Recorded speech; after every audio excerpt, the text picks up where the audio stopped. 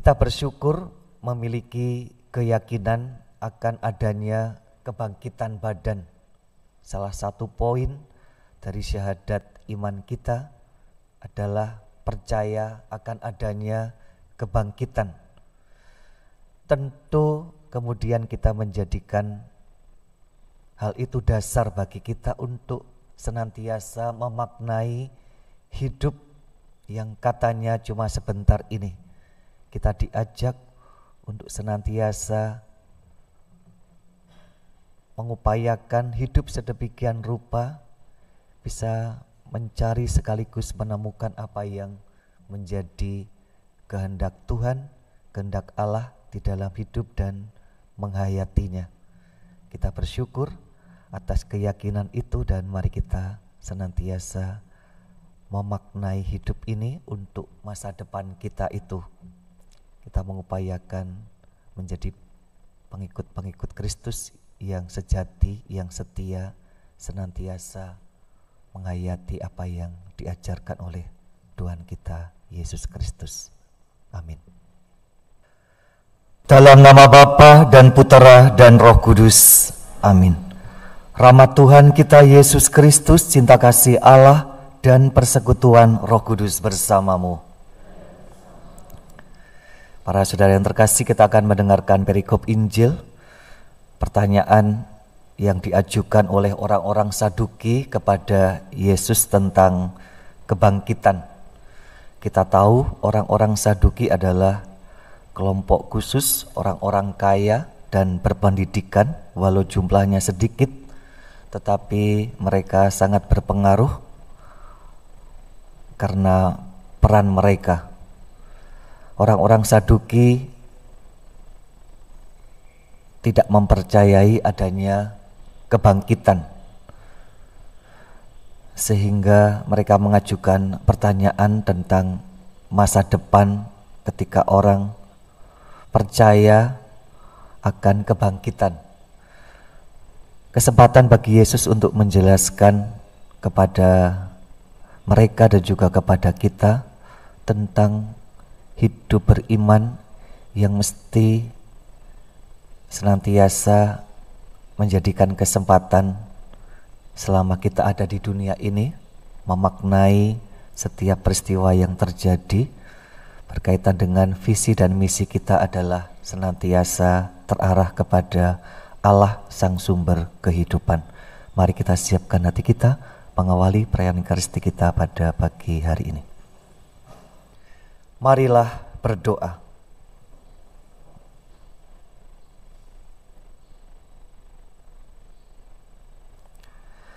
Allah Bapa di surga, kasih setiamu kekal abadi, engkaulah tumpuan hidup dan harapan kami.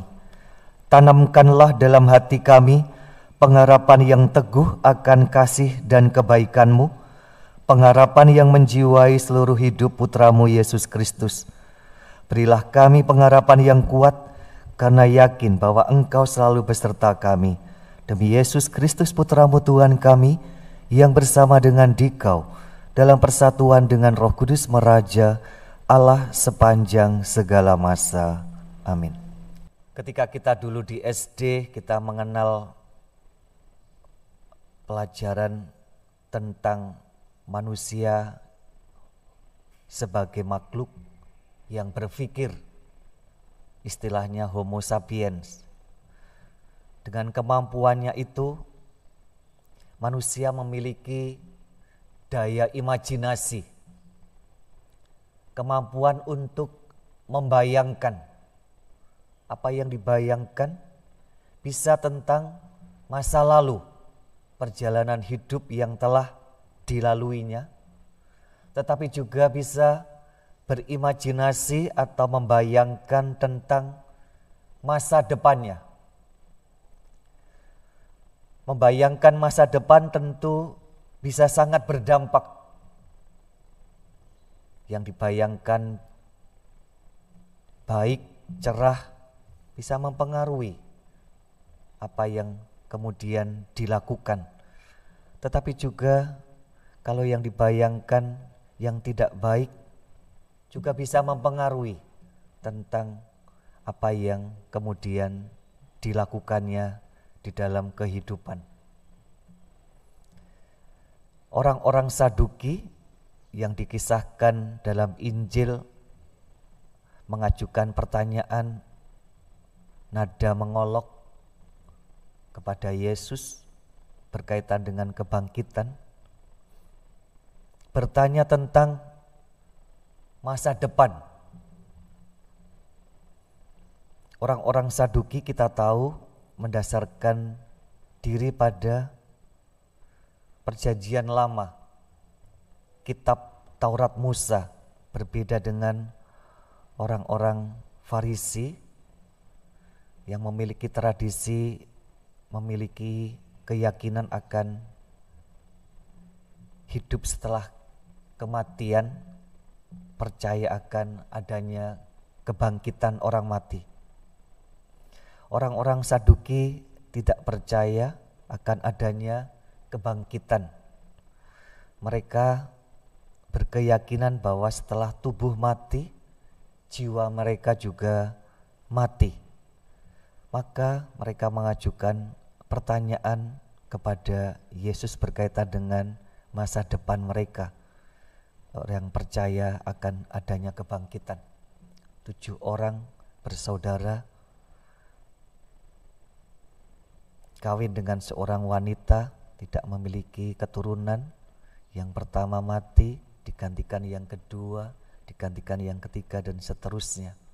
Nanti kalau mereka sudah mati semuanya, siapa yang akan menjadi suaminya kelak dalam kebangkitan?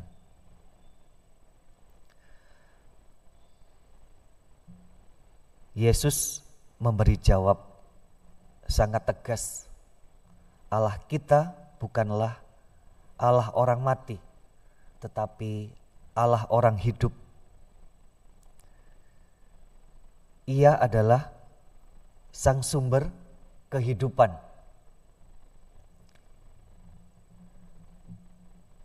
Visi dan misi hidup manusia kemudian tentu diarahkan kepada sang sumber kehidupan ini. Kita bersyukur memiliki keyakinan akan adanya kebangkitan badan Salah satu poin dari syahadat iman kita adalah percaya akan adanya kebangkitan. Tentu kemudian kita menjadikan hal itu dasar bagi kita untuk senantiasa memaknai hidup yang katanya cuma sebentar ini. Kita diajak untuk senantiasa mengupayakan hidup sedemikian rupa bisa mencari sekaligus menemukan apa yang menjadi kehendak Tuhan, kehendak Allah di dalam hidup dan menghayatinya. Kita bersyukur atas keyakinan itu dan mari kita senantiasa memaknai hidup ini untuk masa depan kita itu.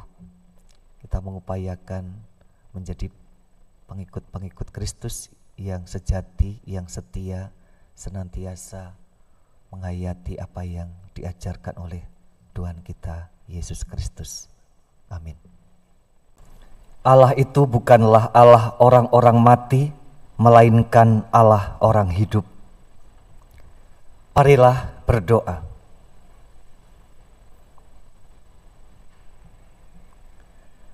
Allah Bapa Maha Pengasih, kami bersyukur karena engkau telah berkenan memberikan tanda kesetiaanmu dalam rupa roti dan anggur kudus ini.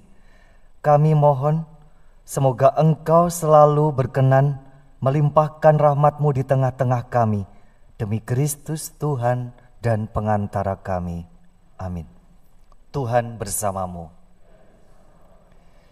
Para saudara dalam hidup dan karya kini dan selalu dibimbing, dilindungi, dan diberkati oleh Allah yang Maha Kuasa, Bapa dan Putera dan Roh Kudus. Amin. Dengan demikian perayaan Ekaristi kita sudah selesai. Marilah pergi kita diutus. Amin.